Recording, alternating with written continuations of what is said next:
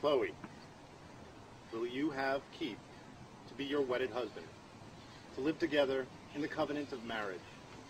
Will you love him, comfort him, honor and keep him, in sickness and in health, and forsaking all others, be faithful to him as long as you both shall live? The rings, please.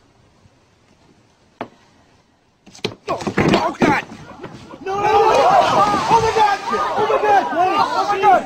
Oh, my god! Are you okay? Oh my god. Oh, my God! oh, oh, oh, oh, oh, oh, oh, oh, oh,